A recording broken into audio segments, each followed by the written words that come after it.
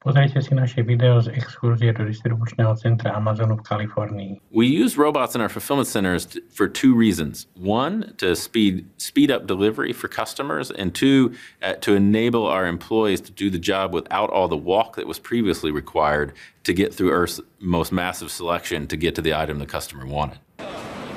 V tejto sekcii sa preberá tovar od subdodávateľov, každá položka sa vizuálne skontroluje a pomocou snímača zavedie do systému.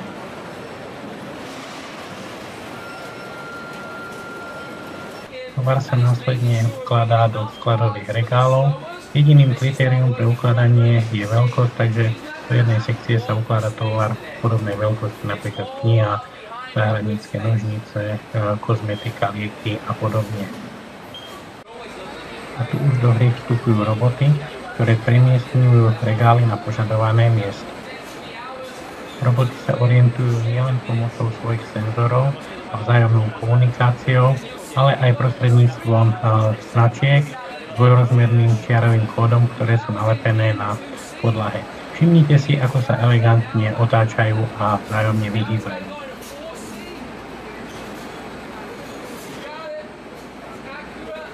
Na tomto pracovisku sa kompletujú zásielky pre zákazníkov podľa toho, aký tovar si to objednal tak mu pracovníci a pracovníčky zabalia a tovar e, smeruje už v obálkach alebo v balíkoch na ďalšie spracovanie. Naša exkurzia pokračuje do ďalšieho distribučného centra, kde nám slúbili, že uvidíme jedno z najväčších robotických ramien na svete, ktoré slúži na prekladanie veľkých zásielok. V Amazone si môžete objednať napríklad kaják alebo grill, aj v tomto distribučnom centre pomáhajú ľuďom pri práci roboty, priniesnú palety s balíkmi a regále s rôznym tovarom. Všimnite si ich vzájomnú synchronizáciu, ako sa dokážu vzájomne vyhnúť a ako úsporne dokážu ukladať regále do skladu, takže ušetria na veľké množstvo skladovacej plochy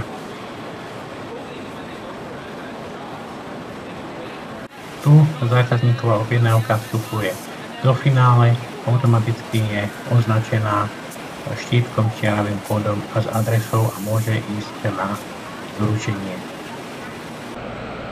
Zvyšok videa už komentár nepotrebuje.